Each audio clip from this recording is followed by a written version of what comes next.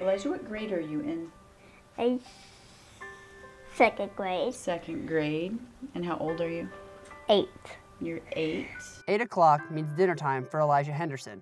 But instead of going to the dinner table, his mom helps him get hooked in for his daily dose of Pediasure.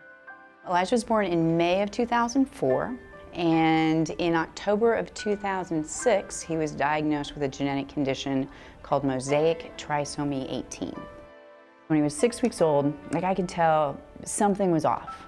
Elijah's condition causes a delay in muscle growth, which results in a lapse in his muscles processing the information sent from his brain. The relief was that his condition wasn't fatal, but there's a lot of sadness to know this isn't getting better. Just like any mom, you don't want to think that your child has to go through anything that would be hard. She has really been proactive to give him all of the opportunities to live his life to the fullest. When Elijah was five, Ms. Stolman realized that Elijah could not hold down his food due to weak digestive muscles. Elijah was then fitted for a feeding tube that he is currently using. Is that where we hook you up? Yep. That's where your food goes, isn't it? There were just like days where I just would cry. I became overwhelmed with fears about his future. As a teacher, I immediately went to, what is meals going to be like? You know, he was two, and I was worried about sixth grade. During a doctor visit at a Colorado hospital, which was meant to deal with intestinal issues, Elijah and his miracle of life were brought into the family's reality. One time we were um, in the hospital in Gunnison, Colorado. While we were there, like nurses and doctors kept coming in and out, and I was like, this is really not that exciting.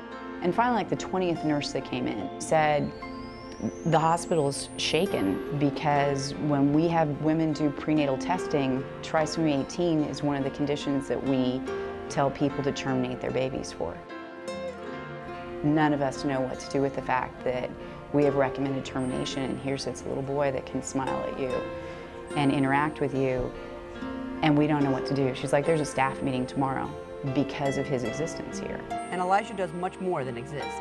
Actually, it's quite remarkable how much he is involved in, considering the numerous obstacles he faces every day. He's in Cub Scouts. Last year he won his Pinewood Derby. Now he's in Special Olympics basketball. He's on the Blue Streaks, Blue Valley Blue Streaks team. Tuesdays he goes and takes piano lessons. He also does a special dance class called Access Dance. This nonprofit organization helps kids with special needs enjoy music and dancing in a place where they feel like they belong. And whenever Elijah is picked up from this class or from anywhere else, there are three things that he always looks forward to. There are three things he wants when I pick him up. He wants to wear his Buzz Lightyear hat, which Mr. Radigan got him and is his favorite hat ever.